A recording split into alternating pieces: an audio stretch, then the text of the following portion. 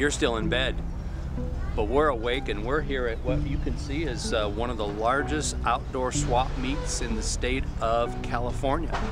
It's a mission field. As you can see, people are setting up right now all, all sorts of things that you could imagine. There's socks and there's shoes and there's lawn tools and there's everything imaginable.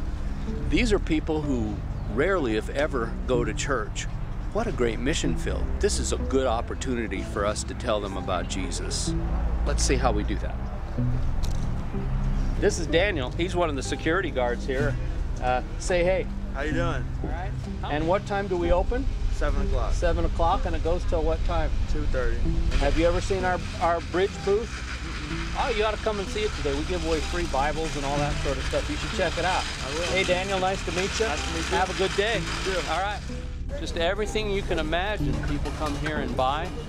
Actually, I was uh, reading on the website that they expect that every Sunday about 15,000 people come through this and about four or 500 vendors.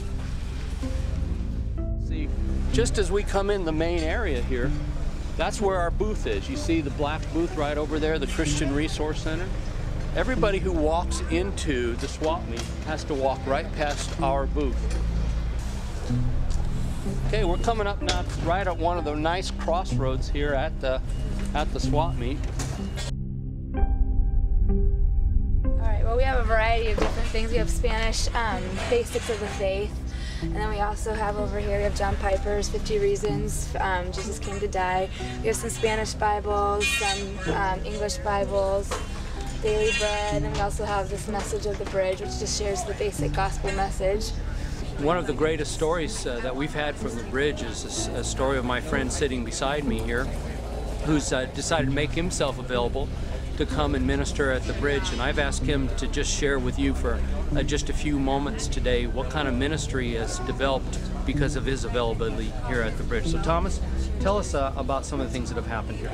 I first met um, this one guy who came by. His name was Tony, and uh, he said, "Well, I need a, a study guide on the Book of James because he wanted to teach at a drug rehab center for ex-convicts." And when I found out that he wasn't a Christian, um, but yet he, he saw that there were some really practical things that people can learn from the Book of James. Um, know, I was like, well, why, why don't I come with you and um, see what this ministry is like and see if I can help you out in teaching the, the word. One of the things that we're trying to do here is, uh, as people come up, sometimes people come here and, and they're just brand new to the community. For the average person, it's hard to find a good church.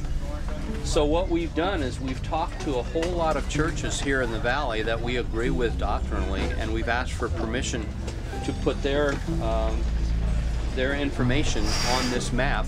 And then we have uh, a little information sheet for each church. Our idea is not just to bring people to Church of the Canyons, it's, it's for people to plug into a, a local church.